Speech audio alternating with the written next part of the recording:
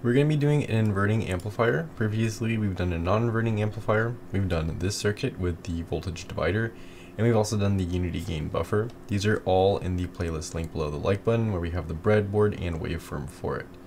But now we are going to be looking at our inverting amplifier. So to achieve a negative voltage gain, the inverting amplifier can be used.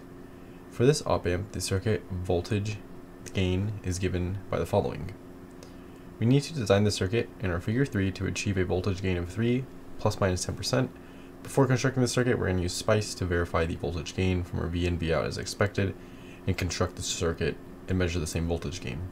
As always, my lab partner has done the SPICE calculations for us. We have it in our lab report. Um, he's also done the little hand calculation here. Um, here's our results for this, our results here, and then a summary of what we have here. Now, he chose a 1 kilo ohm resistor and a 3 kilo ohm resistor. However, I don't have a 1 kilo ohm resistor and a 3 kilo ohm resistor. Instead, we are going to be using a approximate 6.96 kilo ohm resistor, and we're going to be using two 10 kilo ohm resistors. That way we can make a 20 kilo ohm resistor, because I don't have a 3 kilo ohm resistor or a 20 kilo ohm resistor. And so this is the circuit that we're going to be creating.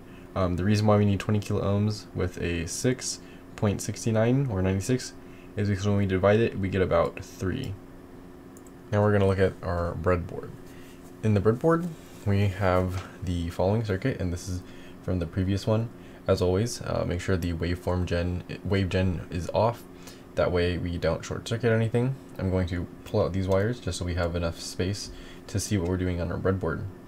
And what else I'm going to do is I'm going to unplug these three connections because they're going to change slightly here. So we take these out and what we can first see is that for our inverting amplifier we have from our V input that's positive that is going to go straight into ground. So we're going to take our pin 3 and we are going to ground it. I'm just going to use this black wire right here and we're going to place it in here and then it's going to go into the negative rail because that is our grounded rail. So it's going to look like that. That's it for the positive. Now we need a node going from our uh, negative out and we are going to connect to that. So we know our negative is the second pin right there. And so what we can do is we can take a resistor or we can take a wire like this and we are going to put it from here into, and we'll just go right out here, into any free row or column. And so that is what that's going to look like. And now we need uh, R2, we need it to go to our voltage output. And we're going to use two 10 kilo ohm resistors for this. So I have my 10 kilo ohm resistor sheet here. I'm just going to pull out two of these and then I'm going to plug them in. So they need to be in series since the resistances need to add together. Um, I'm going to bend them. They need to be in this column. So what I'm going to do is I'm going to take this resistor, I'm going to put it in this column, and I'm going to feed it to this column that's close by here. So it's going to look like this. Now, this is going to connect with this other resistor, this other 10 kilo ohm resistor that we have. And it needs to be in the same column, so that's connected in series. So this one's going to go in here. We can see that it's in the same column, but I'm going to put it up here. And then it's going to go to our voltage output. So it's going to go like that into this pin, and this pin is pin 6, and that is our voltage output right there, right next to our red wire, which is the V positive. Now from here, we have a resistor that's going to go to our V input. And the resistor that we're going to be using is this one. And so we're going to take this resistor, it's going to go into here like this, and so that is going to be this resistor right here.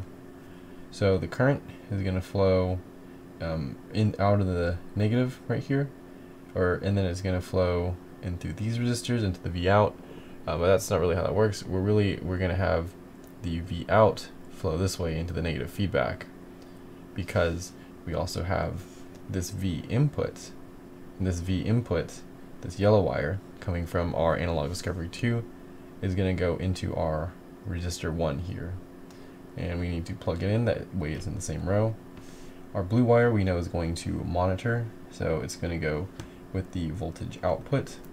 This orange wire is also going to monitor, it's going to monitor the voltage input, so it's going to plug into that same column. And so it's going to look just like this. Um, these two are in the same column as this resistor here. This blue wire is in the same column as this one. And so that is our breadboard with all of the values inserted. Um, it looks like this resistor is in this column, even though it's from a certain angle looks like it's in this one. Just double check the connections. And now from here, we're just gonna push these together, make sure it's okay, and we're gonna check the WaveGen software. So we can click in here, we're gonna click run, we're gonna click run all, and then we're gonna turn our master enable on. And so we're gonna get a waveform that looks like this. Now, we know our voltage gain is 3 plus minus 10%. We use the following formula, R2 over R1 with a negative in front of it. Um, we've done this. And this one, we see that we have about 3 over 1. That's to give us our voltage gain at 3. And so that's kind of how I have it set up right here. It's slightly different from what we just did, uh, but just with the way the resistors are wired. And that's about it. So the, we have the same WaveGen though, it's very similar. And that is how we would do this inverting amplifier. Next we are going to look at the summing amplifier.